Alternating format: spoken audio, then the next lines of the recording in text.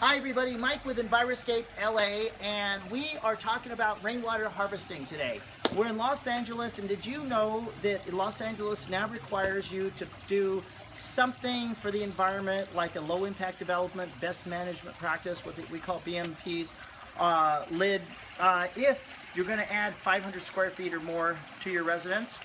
So I'm going to show you something really simple that you can do to, to help go uh, uh, have a credit toward those requirements for your place.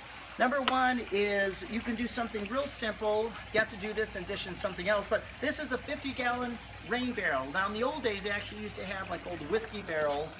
What do you do with them? You put them under your roof, and so you can see here, this actually is going from the roof where there's solar power. So when it rains, it cleans the solar power off. It goes always down this drain. It goes into here, and it actually goes into this. Uh, this is kind of a pretty. Uh, I don't like to call it a rain barrel because it's more than that. It's called. If you want this more information on this one, it's called theraingoddess.com. And this right here is rainwater. So we use that, and we've got a little faceplate here.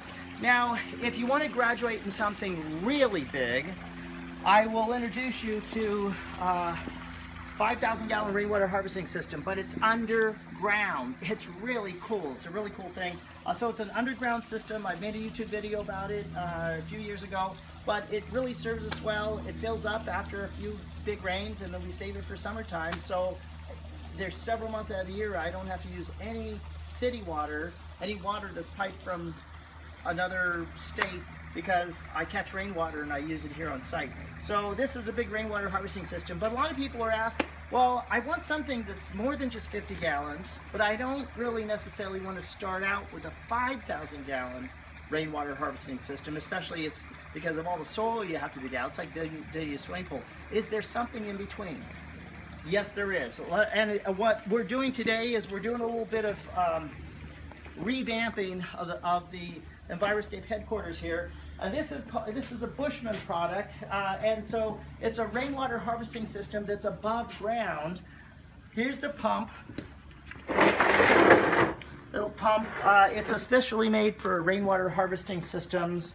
Um, uh, automatic pump, and then this is the rainwater catchment system. So it's about 200 between 250 and 300 gallons and we just went ahead and put the uh, uh, rain diversion in here and it has an overflow that's right over here and so we haven't finished it yet because we're actually doing the install we're gonna make a little um, a stand for it but this whenever there's a lot of rain once this fills up this will fill up first and this will fill up fast because it's attached to the roof then it's going to go into here and it'll go out to the 5,000 gallon rainwater harvesting system. So rainwater harvesting, it's what the ancient Babylonians did, the Phoenicians, the Assyrians, uh, the Romans were experts at it.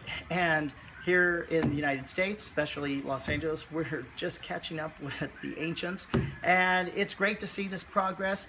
Uh, it's what we should be doing. We should be getting back into permaculture. There's a lot of reasons why we need to get back to basics like our ancestors did because it's good for the planet, it's good for the environment, it's good for humanity in the future. This is Mike with Enviroscape LA signing off. When you think sustainability, think Enviroscape LA.